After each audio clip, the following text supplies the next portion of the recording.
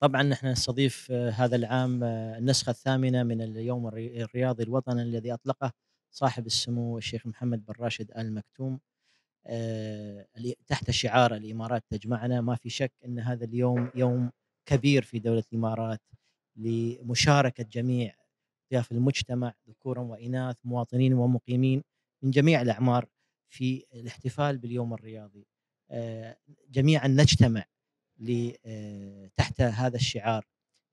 يجسد روح الوطنية لدى جميع من من يعيش على هذه الأرض لممارسة الرياضة اللي يحبها ومشاركة الفعاليات، طبعا هناك في فعاليات على مستوى الدولة في فعاليات كبيرة ولكن هناك كذلك فعاليات متوزعة على المدارس وعلى الجامعات أندية الجاليات الخاصة والأندية الرياضية.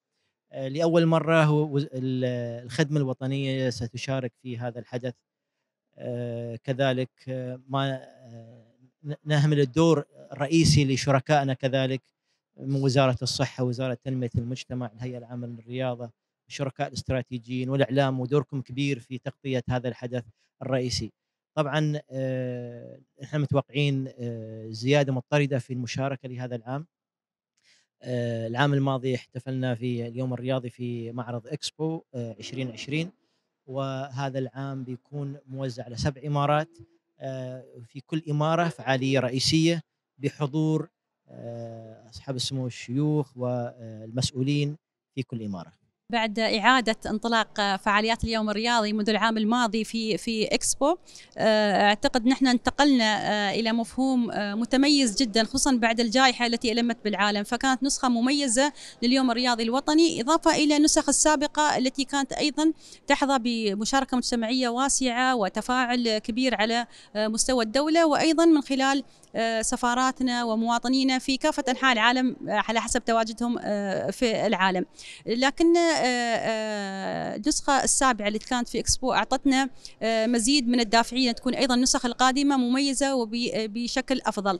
يأتي هذا اليوم الرياضي هذا العام تزامنا مع توجيهات سيد صاحب السمو الشيخ محمد بن زايد آل نهيان رئيس الدولة حفظه الله بإعلان عام 2023 عاما للاستدامة. وقد تبنى الفريق التنفيذي لمبادرة اليوم الرياضي هذا الشعار نحو الاستدامة الرياضية. وهذه إضافة نعتز بها. تم إدراجها في فعاليات اليوم الرياضي اللي راح تكون منتشرة في كافة إمارات الدولة.